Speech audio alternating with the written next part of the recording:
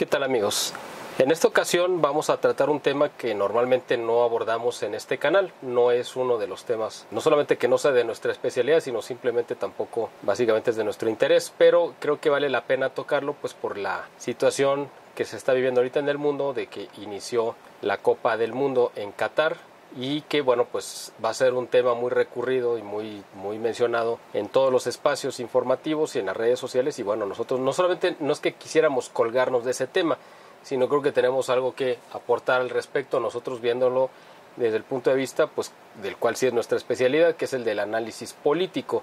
Así que los invito a que nos acompañen a lo largo de este video y además quiero invitarlos y pedirles que por favor se suscriban a este canal si es la primera vez que lo están viendo si no están suscritos por favor suscríbanse, activen también la campanita de las notificaciones para que YouTube les esté avisando cada vez que estamos subiendo un nuevo video. También les pido, si les parece, les gusta este contenido, que le den un pulgar arriba, que le pongan like o me gusta como ustedes lo conozcan y lo compartan con sus contactos en las redes sociales. Es muy importante también para visibilizar este tipo de videos y que más gente conozca nuestro canal. Queremos ir creciendo cada vez más esta comunidad y bueno, pues nuestra siguiente meta es llegar a 30 mil suscriptores. Estamos ahorita rebasando los 26 mil. Queremos llegar a esa meta. Pues no sabemos cuándo, pero ojalá sea pronto. No creo que sea este año, pero bueno, ojalá que nos ayuden a crecer cada vez más esta comunidad y podamos llegar pronto a los 30 mil suscriptores. Otra petición es que, bueno, pues nos apoyen si está en sus posibilidades apoyarnos económicamente. En la descripción de este video vienen los formatos y al final les voy a comentar la forma específica en la que nos pueden ayudar para continuar con esta labor de análisis, información que ponemos a su disposición y que lo hacemos con mucho gusto, pero que tiene un costo y es un costo elevado y que muchas veces no cubrimos. Y entonces estamos siempre en números rojos con déficit y a veces hemos tenido que dejar de hacerlo para buscar otras actividades o complementarias para poder llenar estos huecos económicos que se han ido formando cuando nosotros tenemos más voluntad que colaboración y por lo tanto pues tenemos que ir buscando la manera en la cual poder subsidiar esta labor. Pero la idea es que sea autosustentable. Para eso es que pedimos su colaboración bueno, pues sin más preámbulos quiero comentarles sobre este tema, ¿no? Tan en boga. Yo sinceramente no vi la inauguración del Mundial, no sé cómo estuvo, no tuve tampoco mucho interés en verla, pero lo que sí he visto y le he dado seguimiento pues es este embrollo del lenguaje políticamente correcto y de esta mentalidad que se ha querido imponer en todo el mundo anticatólica, anticristiana, esta guerra declarada cultural contra el cristianismo y el catolicismo y que ahora les está estallando a todos los que han creado este pues este discurso de odio contra la religión precisamente porque ahora se están enfrentando dos de los monstruos que han creado. Por un lado está el Islam, al cual se le han dado todo tipo de, de apoyos, libertades, y, y, además se le ha comparado con el catolicismo y han querido hacer pasar como que el Islam es una religión pacífica de amor, mientras que el catolicismo es una religión de odio, lo cual es totalmente contrario, pero por otro lado está todo este lenguaje del marxismo cultural y la agenda de género que está queriendo imponer casi de manera obligatoria que todo el mundo tiene que aceptar las políticas homosexuales y al lobby, ya saben, ¿no? El lobby homosexual y de lesbianas que están queriendo imponer sus políticas y que todo el mundo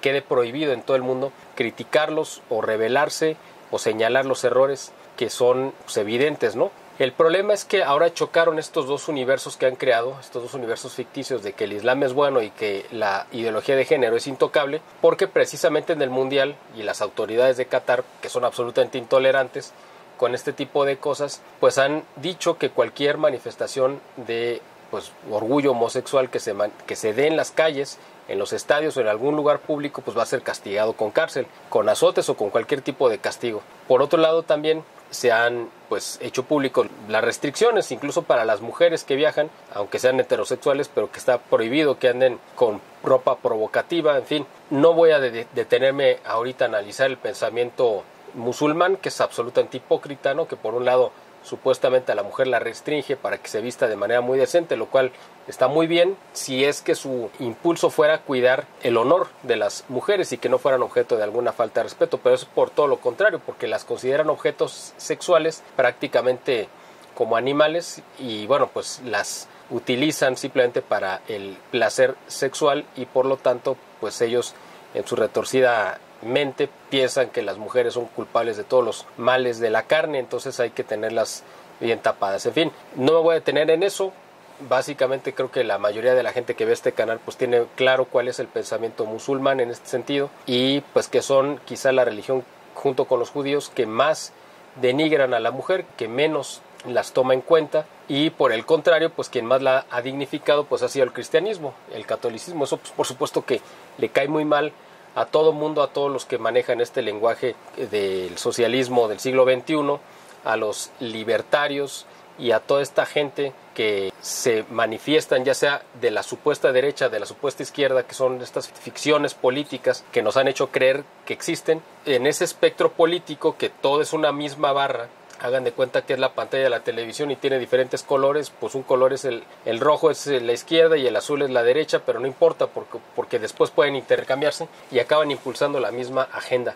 Todo este espectro le cae muy mal que nosotros digamos que la religión católica pues es la que más defiende y ha sido así a la mujer la que le ha dado su verdadero lugar y si no pues vean el evangelio y el lugar que Cristo en el lugar que Cristo y la iglesia siempre ha puesto a la Virgen María como la criatura suprema de la creación. Pero bueno el asunto aquí es que precisamente este monstruo que se creó de parte de estos organismos que han moldeado el pensamiento de las generaciones recientes, pues ahora no saben qué hacer porque por un lado no pueden tocar al Islam, no lo quieren tocar porque han justificado la invasión musulmana de África hacia Europa y de algunos países del Medio Oriente hacia Europa con la idea de cambiar el pensamiento cristiano occidental y convertirlo en una extensión del pensamiento musulmán y le han dado todas las facilidades, pero por el otro lado está esta corriente ¿no? del lobby gay que pues busca cada vez tener más de manera dictatorial más espacios, pero no solamente ganarlos, es decir, los quiere arrebatar y, y hacer que todo el mundo acepte sus condiciones y que nadie los critique. Bueno, pues estos dos mundos han chocado en Qatar 2022, precisamente en el momento que inicia el Mundial, porque pues los musulmanes ya avisaron que no van a tener ningún tipo de consideraciones con los homosexuales. Así que vamos a ver qué va a pasar ahí. Yo creo que eh, la situación social durante el mundial pues va a ser más interesante que muchos partidos sin duda alguna que los de la selección mexicana que la verdad no sé ni cuándo juegan. Bueno, pues básicamente este mundial en particular este que estamos viviendo ahora de Qatar 2022 es, vamos a decir, el peor de los mundos posibles. Es el mundial quizá más cuestionado, más corrupto, más manchado, incluso además el más sangriento porque ha costado la vida de miles de trabajadores. Esto es algo importante porque no ha salido en muchos sectores de la prensa que han tratado de ocultar, obviamente y especialmente los cataríes, o sea, el gobierno, la familia real de Qatar, que son los que gobiernan este reino, son los más interesados en que estas historias no se conozcan, pero ya desde hace tiempo se ha venido eh, pues informando incluso por eh, medios importantes como la BBC de Londres y otros medios internacionales que el mundial de fútbol es decir la, la construcción de los estadios estaba manchado de sangre la historia más o menos es la siguiente. En el año 2010 cuando se hace público, eh, Joseph Blatters en ese momento era el presidente de la FIFA y es el que dice o el que anuncia al mundo quién iba a ser el ganador de la sede del Mundial 2022 y de los candidatos que estaban ahí presentes, pues el que sale triunfador y que además fue los únicos que festejaron fue precisamente Qatar, un país en el que además ni siquiera se practica el fútbol, la gente no lo tiene ni siquiera como costumbre, es decir, es una práctica totalmente ajena a la vida común de los cataríes. Además es un reino, un principado muy pequeño, que con Linda, con Arabia, tiene una población de 250 mil personas. Eso realmente eh, pues, es muy poco, pero tiene trabajadores de otros países, alrededor de 2 millones y medio de, de, personas, es decir, el 90% de la población de Qatar, pues no son cataríes, son gente que viene de otros países a trabajar y además pues a ganar un sueldo muy bajo porque pues la familia real de Qatar, que son los que gobiernan, que son los dueños, del, de, este, de este territorio, pues son muy miserables y pagan muy mal, muy, sueldos muy bajos. Se calcula que la fortuna de esta familia está valuada en alrededor de 350 mil millones de dólares y pues ustedes van a decir, bueno, ¿y, por, ¿y de dónde viene tanto dinero? Precisamente porque Qatar tiene la tercera reserva más grande de petróleo y gas en el mundo. Por lo tanto, es un territorio que está inundado de petróleo de gas y entonces eso los ha convertido en los últimos años pues en multimillonarios a la familia real. Por eso despilfarran eh, dinero que tienen y son esos jeques muy excéntricos que compran Ferraris y los decoran de oro porque no tienen en qué gastar el dinero. Y lo que les faltaba por comprar pues ellos fue una diversión que quisieron darse pues fue comprarse un mundial un certamen de estas características. Y ellos dijeron bueno pues vamos a comprar la Copa del Mundo ¿Cuánto necesitamos? Bueno, pues empezaron a repartir dinero entre los votantes que iban a elegir la sede en la FIFA, incluso a Michel Platini, este futbolista de la selección francesa muy reconocido y después un dirigente de la FIFA, también quedó salpicado por los escándalos de corrupción, se llevó varios millones de dólares o de euros, igual que los demás que iban a votar y al final de cuentas Qatar se hizo con la sede. Ya desde su origen pues el problema ya venía. Entonces Después se pues tuvieron el problema de decir, bueno, ya tenemos la sede, el problema es que no tenemos ningún estadio, no hay no había un solo estadio de fútbol en Qatar, por lo tanto, decidieron, originalmente iban a construir me parece que 12 o 15 estadios y finalmente terminaron en 8. Uno de esos 8 es un estadio desmontable que al final del certamen Qatar lo va a donar a algún país que si juegue fútbol, lo van a desbaratar está hecho con material reciclado, que es como si fuera un rompecabezas, lo desbaratan, lo desensamblan, sería la palabra más adecuada, y lo van a donar a algún país, no sé cuál, no sabemos cuál. Bueno, aquí el asunto es que para construir esos ocho estadios, pero no solamente fueron los estadios, fue construir hoteles, carreteras y